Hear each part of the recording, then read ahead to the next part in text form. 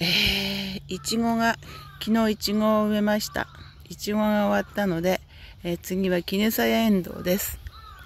2種類2作植えることにしています。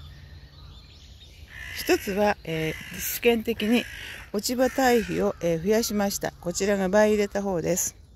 こちらに、えー、早生のエンドウを今植えています。ちょっと間隔が近すぎるんですけど、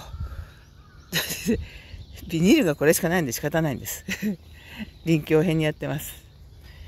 で、幸運期をかけた畑は、えー、あの、やぶからしの根がこうやって起こってんですよ。これが幸運期で粉々になって、まき散らかされてるので、これを畑を苗ながら拾って、外に出して捨てています。これを一手間やっておかないと、えー、春までにやぶからし畑になります。今やっとけば、あの、だいぶ楽なんです。だけどこれがね、ひどいもんでね、土と同じような感じでね、混じり込んでるので、えー、今うないながらバックしてずっとあの拾ってきました。これだけでもでも手間かかるけど、これだけで随分違います。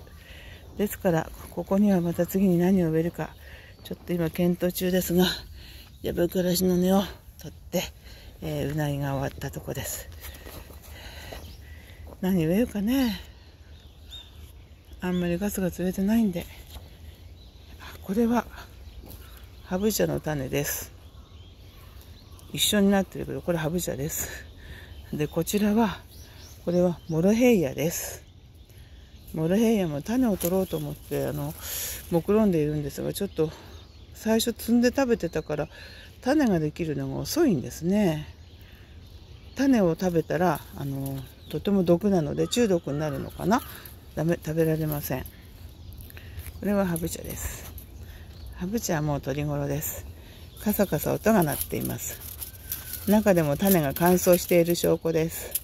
こうなったら収穫です、えー、フライパンで弱火でよくいって、えー、麦茶のように夜間で煮出して飲みます。麺にいいそうです。目にし目が心配な方はぜひあのやってみてはどうでしょうか。あここに育ったのありますね。こんな感じになるんですね。でこれ割るとパリパリパリンって種がこぼれてパリパリンって種がこぼれます。よいしょ、えー、パリパリンって種がこぼれて落っこっちゃった。っていうとほらここが蛇のハブのねお腹みたいに見えるでしょ？これでハブ茶っていうらしいですよ。南の方のものみたいですね。はい、えー、今日はこれが終わったら向こうのピーマンを引きにこうかな。ピーマンはピーマンとナスとえっ、ー、とピーマンとナスですね。ピーマンとナスの苗。ね。